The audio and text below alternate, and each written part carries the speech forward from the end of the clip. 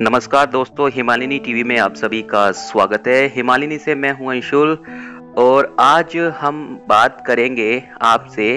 आपको एक ऐसी शख्सियत से मिलवाने जा रहे हैं रूबरू कराने जा रहे हैं जो एनजीओ चलाते हैं फरीदाबाद से आज हमारे साथ कनेक्ट हुए हैं। चलिए उनसे बात करते हैं। हेलो जी नमस्कार जी। नमस्कार सर नमस्कार। कैसे हैं आप? बस धन्यवाद जी थैंक यू सो मच आपने याद किया हमें। रवि जी से हम आपको रूबरू कराने जा रहे हैं। रवि जी आप एक एनजीओ चलाते हैं फरीदाबाद में। जी सर। तो फरीदाबाद में जो आपका एनजीओ चल रहा है आप उसके बारे में विस्तार से बताइए हमें। जी बेसिकली ये गुड़गांव फरीदाबाद रोड के ऊपर है। जी। बट है जिला गुरुग्राम में। जी। और ये एक गाँव है इस गाँव का नाम है बंदवाड़ी विलेज। जी। तो बंदवाड़ी विलेज के बिल्कुल बीचों बीच में हमारी एक एनजीओ संस्था है। इसको रेस्क्यू होम बोलते हैं। हम्म, और इस रेस्क्यू होम के अंदर अराउंड 500 से ज़्यादा अनाथ और बेसहारा लोग परमानेंट रहते हैं। हम्म जिनकी हम निष्काम सेवा करते हैं। इनमें वो ज़्यादा लोग होते हैं जो सड़कों पर मिलते हैं जिनको कीड़े पड़े होते हैं। बीमारियाँ लग जाती हैं। या फिर मानसिक रूप से बीमार लोग रोड। पर बिना कपड़ों के घूमते रहते हैं। जी। या ऐसे बुज़ुर्ग लोग जिनके बच्चे उनको घरों से निकाल देते हैं। तो इन सब लोगों को हम आधी आधी रात को जाकर सड़कों पे ढूंढते हैं। फिर हम्म। हमारी संस्था में लाकर इनको रहना खाना दवा और रोज़मर्रा की सभी सुविधाएँ फ्री मिलती हैं। जी जी। ये सर आपका एनजीओ कब से चल रहा है सर? शुरुआत कब हुई थी इसकी सर? ये सन 2008 में हुई थी। जी। और राउंड अब तो 12 साल हो गए हैं। और 12 सालों में दिन रात 24 घंटे राउंड द क्लॉक यहाँ एडमिशन मिलता है खाना मिलता है। सेवा होती है। तो शुरू शुरू में तो हम खुद ही ढूंढते रहते थे रोड से लोगों को। अब डिफरेंट स्टेट्स की पुलिस भी लाती है रेस्क्यू करके। जी। और सरकारी विभाग जैसे जैसे आदरणीय न्यायालय हम्म। सरकारी हॉस्पिटल समाज कल्याण विभाग वो सब भी यहाँ पर अनाथ और बेसहारा लोगों को एडमिशन कराते हैं। जी। सर एक जानकारी हमें ये दीजिए जो आपको ये सहायता मुहैया किस तरह से होती है जैसे आर्थिक सहायता की बात करें तो क्या गवर्नमेंट से कोई आपको सपोर्ट मिलती है? जी ये तो बड़ा मुश्किल प्रश्न कर दिया आपने। जी। क्योंकि सरकार से तो संस्था मान्यता प्राप्त है। जी। और बहुत एक्नॉलेजमेंट और अप्रिसिएशन भी बहुत है। क्योंकि सर एक्चुअली मैं एक्चुअली मैं बात करूँ दरअसल तो ये देखिए इसमें सर खर्चा भी होता है। दरअसल आप जिस तरह से एनजीओ चला रहे हैं उसमें बहुत बहुत खर्च भी होता है। आप एंबुलेंस सेवा दे रहे हैं आप खाना दे रहे हैं रहने के लिए आप प्रॉपर रूम भी बना रहे हैं तो इसीलिए हमने सवाल किया कि आपको कहीं से आर्थिक सहायता मिलती है सर? जी ये बड़े दुर्भाग्य की बात है कि सरकार से तो संस्था मान्यता प्राप्त है लेकिन सरकारी रुपए पैसे की कभी मदद मिली नहीं। तो जो और फॉरेन से भी लाइसेंस नहीं है हमारे पास हेल्प लेने के लिए। तो जो संस्था है वो पब्लिक की हेल्प से ही चलती है। जी। तो ईश्वर की दया से कुछ भगवान जी के फरिश्ते मिल गए। किसी ने पाँच सौ रुपये महीना बाँध दिया। किसी हम्म। ने दो हज़ार किसी ने पाँच हज़ार। हम्म, कुछ ऐसे अच्छे लोग हैं जो थोड़ा ज़्यादा दे देते हैं। जी। तो ऐसे सेवा चलती है बट आसान नहीं है हेल्प लेना।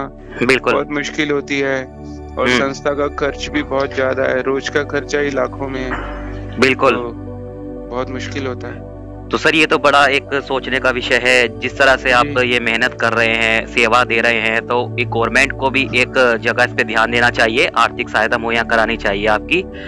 हाँ, तो सर अपने माध, अपने माध्यम से हम पूरी कोशिश करेंगे आपकी आवाज़ को उठाने के लिए सर। जी जी जी जी। जी धन्यवाद बड़ा अच्छा लगा। बस यहाँ ये तो है अब बात की सरकार की तरफ़ से।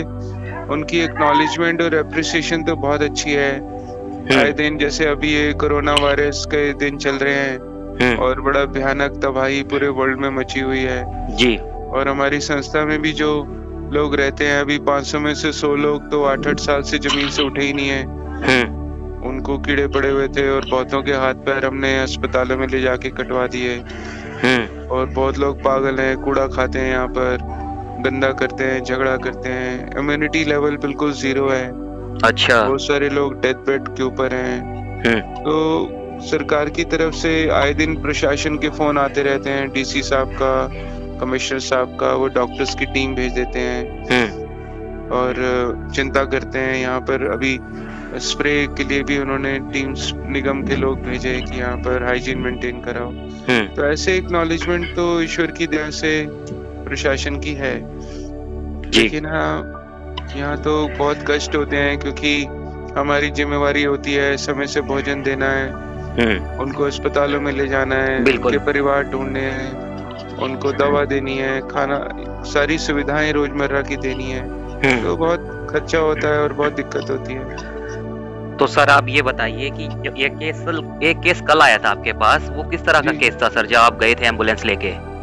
वो कल फ़ोन आया था इधर सोनीपत पुलिस का उन्होंने बताया कि एक मानसिक रूप से बीमार आदमी यहाँ बहुत तंग कर रहा है। प्रशासन को पुलिस को उनसे समझ नहीं रहा है। तो उन्होंने हमें निवेदन किया कि इसको रेस्क्यू करना है। तो हमने उनसे एक सहायता मांगी। उनकी सहायता करने से पहले कि आप इसको मेडिकल करवा लीजिए सरकारी अस्पताल में ले जाके। हम्म, तो वो कहना उन्होंने मान लिया।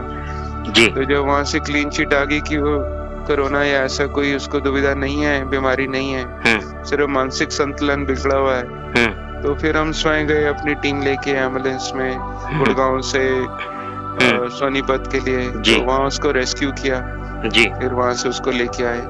ऐसे कई बार बहुत विचलित कर देने वाले केस आ जाते हैं यहाँ पर। जैसे अभी कुछ दिन पहले भी पुलिस का फ़ोन आया कि एक मानसिक रूप से बीमार महिला को हम्म, सड़क से रात को रेस्क्यू किया वो इतनी वायलेंट है इतनी वायलेंट है हम्म, कि उसमें सब इंस्पेक्टर मैडम का गाल काट लिया। ओ माय गॉड और शायद उनके अब प्लास्टिक सर्जरी होगी। हम्म। तो ऐसे बहुत भयानक केस आते हैं यहाँ पर। तो सर आप अपनी बात रखिए। आप क्या चाहते हैं? अपनी पूरी बात रखिए सर। गवर्नमेंट से क्या चाहते हैं? अपनी मन की पूरी बात रखिए सर। जी एक तो अभी हमारी संस्था की एक और ब्रांच खुलने वाली है क्योंकि यहाँ हमें दिक्कत ये है कि 200 लोगों की जगह थी और 500 लोग रहने को मजबूर हैं। हम्म। जगह का बहुत अभाव है। हम्म। तो हमारी पिछले 12 सालों से सरकार से गुहार लगाई हमने लगाई थी कि हमें ज़मीन दो सरकारी। हम्म। बट अनफॉर्चुनेटली वो ज़मीन हमें ऑनर हुई नहीं। हम्म। तो अभी हमारे पास अपनी पारिवारिक ज़मीन पड़ी थी वो भी हमने सेवा में समर्पित कर दी। तो हम चाह रहे हैं कि जैसे ये कोरोना वायरस का भय प्रकोप खत्म हो जाए और सब कुछ नॉर्मल हो जाए सब जनसाधारण के लिए तो हम उस ज़मीन के ऊपर शेड हम्म। बना दें ताकि यहाँ 500 में से 300 लोगों को वहाँ शिफ्ट किया जा सके। जी। और वहाँ और भी लोगों के लिए एकोमोडेशन बन जाएगी। तो वहाँ पर शेड्स बनाने हैं टॉयलेट बाथरूम बनाना है किचन बनानी है बाउंड्री वॉल बनानी है। जी। तो ऐसे फिर ये कोरोना का भय खत्म होगा तो लोगों को झोली फैलाएँगे निवेदन करेंगे कि हेल्प कीजिए ताकि हम लोगों की हेल्प कर सकें आगे बढ़कर। तो रवि सर मुझे आप ये बताइए कि अभी आप केबीसी में भी गए थे कुछ समय जी, पहले तो जी, जी। वहाँ आपका कैसा अनुभव रहा? जी केबीसी का जो अनुभव था वो तो लाइफ टाइम था। मैंने तो कभी सपने में भी नहीं सोचा था कि ऐसे अमिताभ बच्चन जी का फ़ोन आएगा। जी। और हमें केबीसी में इनवाइट करेंगे। जी जी। और सबसे बड़ी बात यह है कि जिस शो के लिए उन्होंने हमें इनवाइट किया था वो करमवीर एपिसोड का आखिरी एपिसोड था। हाँ मतलब केबीसी के करमवीर का last episode of the year hmm, तो बहुत वैल्यूएबल एपिसोड था। और इनफैक्ट केबीसी के लोग उस शो की जो रिकॉर्डिंग हुई थी उससे पहले बहुत घबराए हुए थे क्योंकि वो चाहते थे किसी ऐसे को प्रस्तुत करें हम्म, जिसकी सेवाएँ निष्काम हो और आखिरी शो में बहुत इम्पैक्ट पड़े पब्लिक के ऊपर। हम्म, तो फिर ये बड़ा भावनात्मक शो था। मेरे भी ऊपर बहुत प्रेशर था क्योंकि जब अमिताभ बच्चन जी ने ये शो शुरू किया हमने तो उसकी कोई गाइडलाइन नहीं थी कोई एडिटिंग नहीं थी कोई स्क्रिप्ट नहीं थी। कुछ पता नहीं था क्या बोलना है बल्कि इनफैक्ट मुझे तो ये भी नहीं पता था कि हॉट सीट पे ले जाके बिठा देंगे हाँ मैं। ये, यही तो पूछना चाहते हैं कि जब आप सीट पे बैठे तो आपके मन में क्या उस समय चल रहा था? उस समय मन में इनफैक्ट बिल्कुल ब्लैंक था और हवा में उड़ा हुआ था मैं और सपने में भी नहीं था कि ऐसे केबीसी में आने का मौका मिलेगा। जी। तो मैं तो अमिताभ बच्चन जी की तरफ़ ही देख रहा था और उनको रीड कर रहा था। कि वो कितने धर्मात हैं कर्मठ हम्म। हैं हम्म, दानी हैं ज्ञानी हैं इतनी नॉलेज है उनको इतना शिष्टाचार है इतना उनमें आत्मसम्मान और इतने पब्लिक के लिए ममता है और इतनी गहराई है भावनाएँ है। मतलब ऐसा महान पुरुष तो धरती पे मैंने कभी देखा ही नहीं जबकि मैं खुद 48 कंट्रीज़ फॉरेन में ट्रैवल कर चुका हूँ। लेकिन मैं बहुत भावुक हो गया था। और सबसे बड़ी बात यह है कि अमिताभ बच्चन जी ने इतना इज़्ज़त मान दिया इनफैक्ट उनकी आँखों में तो आँसू आ गए थे। रो भी पड़े थे और शो के बाद भी बहुत भावुक हो गए थे और बोले कि जब से मैं पैदा हुआ मैंने ऐसी सेवा कभी नहीं देखी। तो बहुत अच्छा लगा कि उन्होंने इज़्ज़त मान दिया और सारी पब्लिक को हमें अच्छा बताने का मौका भी मिला जो समाज के दुख दर्द इंसान ने मनुष्य ने धरती के ऊपर प्रहार किए हैं। स्पेशली वृद्ध लोगों की दुर्दशा हम्म। कि कैसे बच्चे अपने बूढ़े माता पिता को घर से निकाल देते हैं। हम्म। उनको खाना नहीं देते दवा नहीं देते हॉस्पिटल हम्म। नहीं ले जाते मारते पीटते हैं। और बहुत बार तो घरों से निकाल देते हैं सड़कों पर छोड़ देते हैं कूड़ा खाने के लिए। तो वो सब बातें बताई तो बहुत भावुक हो गए पब्लिक भी अमिताभ बच्चन जी भी। और इनफैक्ट अभी तक अनगिनत फ़ोन आते हैं लोगों के। लोग पूछते हैं उस शो के बारे में और बोलते हैं कि हमारे ऊपर बहुत इम्पैक्ट पड़ा उस शो का। हम्म। अब हमने कसम खाई है हम अपने माता पिता की कभी पिटाई नहीं करेंगे हम्म। और उनकी इज़्ज़त करेंगे। तो बहुत अच्छा लगता है। हमें देखिए सर एक्चुअली बात ये है मैं भी एक पिता का पुत्र हूँ। दरअसल ये जब चीज़ें सामने निकल के आती हैं कि बेसहारा कर दिया तो हाँ ये बड़ी एक सोचने की विषय है क्योंकि आजकल ये बहुत ज़्यादा हद तक हो रहा है कि शादी हो गई और बेसहारा कर दिया ये हाँ। हद से ज़्यादा बढ़ रहा है तो इस पे आप क्या कहेंगे कि ये कैसे कम हो क्या संदेश है आपका जी बिल्कुल ये आपने सही कहा ये एक महामारी की तरह बढ़ती जा रही है कि कैसे बच्चे अपने माँ बाप को अस्पतालों में झूठे नाम से भर्ती करा के भाग जाते हैं उनकी प्रॉपर्टीज़ छीन लेते हैं उनको कमरों में बंद कर देते हैं हम्म। अनाथालों में झूठे नाम से। भी छोड़कर भाग जाते हैं। तो ये इसीलिए हो रहा है क्योंकि खर्चे बहुत बढ़ गए हैं टेंशनें बहुत बढ़ गई हैं हम्म। लोगों की और सारा गुस्सा माता पिता पे उतार देते हैं। तो ये तो होना नहीं चाहिए इनफैक्ट ये तो एक चेतावनी है कि अगर हम ऐसा करेंगे तो जैसे करनी वैसे भरनी। आज हम अगर बूढ़े माता पिता के साथ ऐसे दुर्व्यवहार करेंगे तो कल को हमारे बच्चे भी हमारे साथ उससे भी ज़्यादा दुर्व्यवहार करेंगे। बिल्कुल। तो ऐसा नहीं करना चाहिए। क्योंकि माता पिता ही भगवान का स्वरूप होते हैं। उन्होंने हमें पैदा किया बड़ा किया इस काबिल बनाया।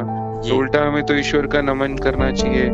नमन करते हुए माता पिता की इज़्ज़त करनी चाहिए। हम्म। क्योंकि जब भगवान जी के पास एक दिन जाएँगे तो ईश्वर पैसे का हिसाब तो पूछेगा नहीं। हम्म। ऊपर तो कर्मों का हिसाब देना पड़ेगा। हम्म। तो कर्म तो घर से ही शुरू होते हैं।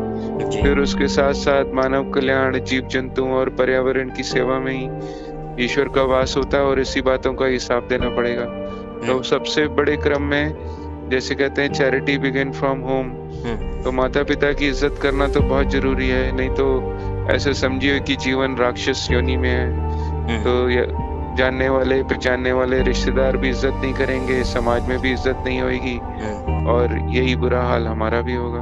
बिल्कुल। तो इसलिए माता पिता की तो इज़्ज़त करनी चाहिए। जी बिल्कुल बिल्कुल। सर आप बहुत ही सराहनीय वाला काम कर रहे हैं। सर हमारी पूरी टीम आपको सैल्यूट करती है। जिस तरह से आप सेवा कर रहे हैं सर अपनी ज़मीन दे रहे हैं और इसमें सर मनी भी खर्च होती है। पूरा सपोर्ट आप कर रहे हैं। जितने भी पेशेंट आपको मिलते हैं तो पूरा आप उस पर ध्यान दे रहे हैं एंबुलेंस तुरंत आप लेके चलते हैं जहाँ भी कोई कॉल आ जाता है। तो बहुत ही सम्मानजनक बात है सर। जैसे कि आप कोई और वर्क भी कर रहे होते हैं तो तुरंत कोई कॉल आ जाता है इमरजेंसी में तो आप उन कामों को छोड़ के आप तुरंत निकल पड़ते हैं अपने काम पे। तो सर आपने हमें कीमती समय दिया सर। बहुत अच्छा लगा और आपकी बात को हम आगे तक ज़रूर ले जाएँगे sir. Thank you Anshul ji. Thank you. आपकी पूरी टीम को भी हमारी शुभकामनाएँ धन्यवाद कहिएगा। जी जी जी। और बिल्कुल। बहुत अच्छा लगा आपसे बात करके। Thank you so much sir thank you thank you Anshul ji. Thank you bye